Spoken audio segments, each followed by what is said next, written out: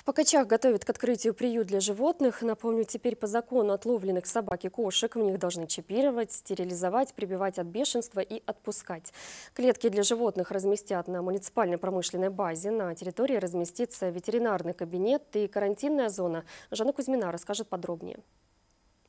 Каждое утро зооволонтер Анна Киреева выгуливает во дворе подобранных во время отлова дворняк, лестью и тошу, а дома и на дачу ее ждут еще несколько питомцев. И каждому нужно внимание. Анна целенаправленно подбирает, выхаживает и даже пристраивает раненых и покалеченных собак, у которых когда-то были хозяева. Таких передержек в городе несколько десятков. Это пример того, говорит зоозащитница, как в отсутствии официального приюта люди самостоятельно решают проблему безнадзорных животных.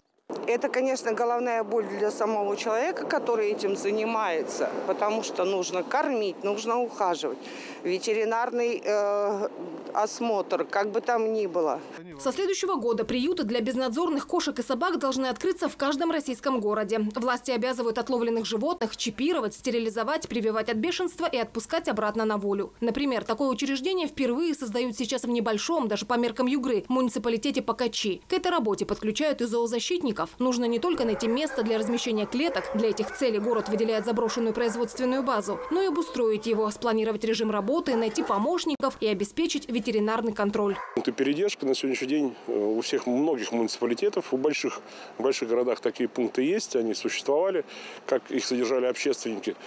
А вот малые города столкнулись с такой проблемой. И сегодня э, обеспечить полные все требования с привлечением без, небезучастных жителей, так их назовем, Приютов не хватает. Их заменяют пункты временного содержания животных. В Нижневартовске такой работает 5 лет. Он рассчитан на 550 хвостатых постояльцев. Безнадзорных собак собирают сюда со всех окрестных городов и Нижневартовского района. Здесь их не только содержат, но и стерилизуют. Необходимые лекарства оплачивает сам пункт. Деньги на ветеринара помогают собирать зооволонтеры. Они же по мере возможности занимаются устройством животных в семьи. Чтобы соответствовать статусу приюта, на муниципальной передержке сейчас обустраивают санитарную зону с отдельным кабинетом врача. В данный момент э, мы готовим э, ветеринарный кабинет э, полностью, чтобы перейти в приют с 2020 года.